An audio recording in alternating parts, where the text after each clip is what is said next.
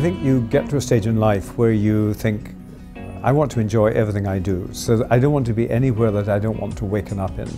And uh, for me, I was asked if I'd like to do something in Beirut, and I said absolutely not because I came right after the civil war and I had a really bad experience. The place looked awful, it was all bombed out, there were tanks everywhere, and I thought, I don't want to do that. And they said, please come back and see it now. So I came back this was seven or eight years ago. I couldn't believe the transformation. Beirut was so exciting. I, I had one of the, the best weekends of my life.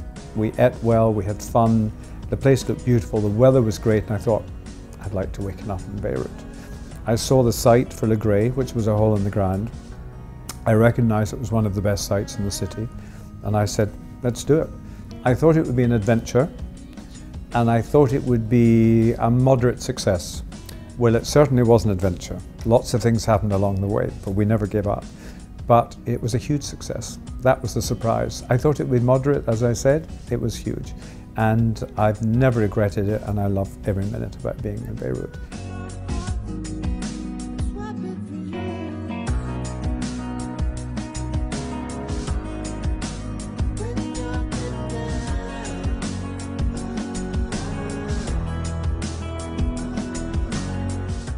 Do I want the hotels all to be similar?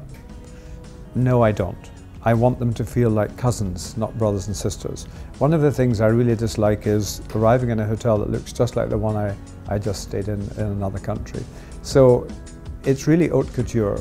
Le Gray was designed purely for Beirut. I wanted it to be fun, I wanted it to be sexy, I wanted it to be modern, I wanted it to be the way I saw Beirut now, with a, with a new generation wanting to have a, uh, an exciting way of living. And so I didn't want to make it like the hotel in London or a hotel in the Caribbean. And we're doing other projects, and they all look totally different. But I think they feel connected, but not cookie cutouts. That's what I really don't like. Uh, I think individuality is, is what I love the most.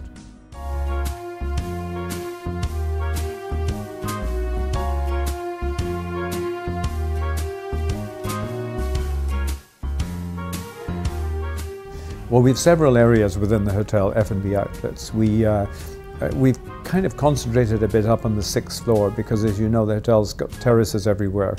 And to me, that's the magic of the hotel. That we've got Indigo on the roof, which has got fantastic views of the sea and the mountains and the mosque. And so um, that is really our, uh, the food is really excellent. That's about eating and um, we're open for breakfast, lunch and dinner, so it, it, it, it fills the need of all meals. And uh, that's our really number one restaurant.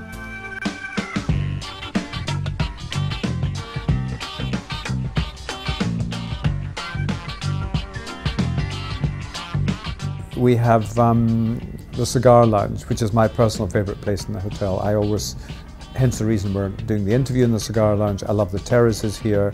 I don't even smoke cigars. It's just I love the whole idea of a cigar lounge. And uh, I'm, I'm, I'm really quite anti-smoking, but I really approve of cigars. And it's one of my favourite places with a nice library. Every book has been hand-picked to be part of the area. It's not just a bunch of books. We, we have um, Blackwell's in Oxford, Blackwell. Uh, he personally works in the library with me, so we take it very seriously. So this is obviously a place to drink and to smoke. And now that we have a smoking ban, um, there's the terrace. And throughout the winter, we're going to have heaters everywhere, so you'll be able to sit outside, and umbrellas and canopies. So I think, uh, you know, I'm not, uh, I'm not madly upset about the smoking law because I hate to be around smoke. So I think we cover it with our outside areas.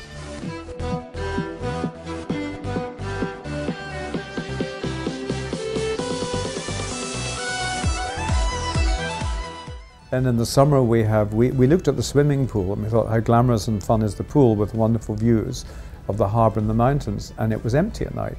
So we said this is crazy so we turned it into cherry on the rooftop. And the concept there was a younger crowd and uh, affordable, exciting drinks, good music and uh, interesting nibbly things to eat that's been really popular. So that's been a big success.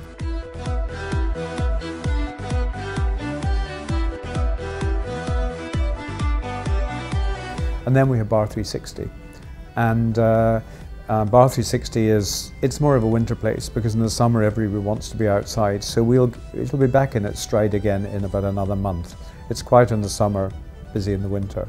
And that's, uh, that's about music and noise. And it'll just be interesting to see how the non-smoking rule settles in.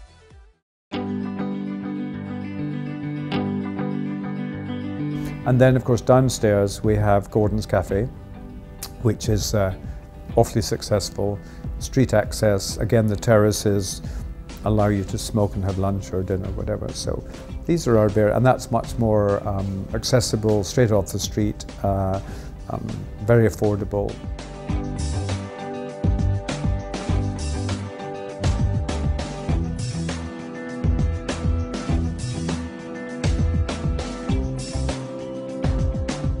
Well, one of the aspects of the design which I really value the most is that we've, um, we've got quite an exciting, I hope and think, art collection.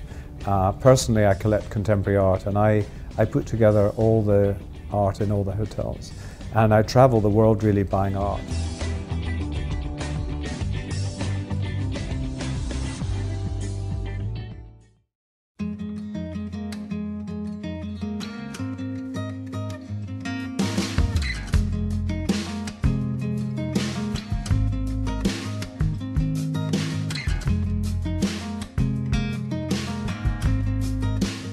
My personal definition of luxury is really quite simple.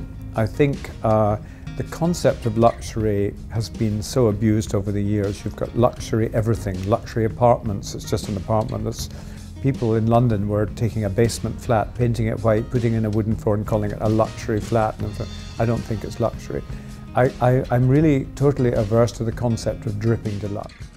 And I'm uh, totally averse to the concept of showing off vulgarity, nouveau riche, anything flashy. I think luxury is ultimately simplicity, and I think luxury is often it's about space and time and calmness and many of the things that you have to fight hard to get in Lebanon. So I'm quite big on um, peace, quiet, and a bit of solitude. Um, that's my, I'm in perpetual pursuit of solitude.